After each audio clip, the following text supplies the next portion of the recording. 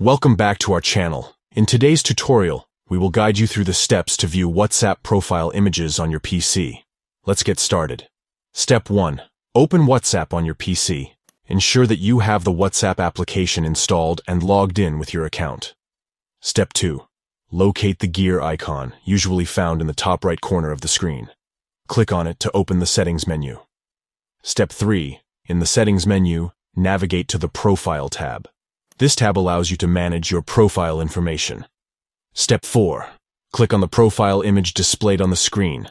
This will open a list of options related to your profile. Step 5.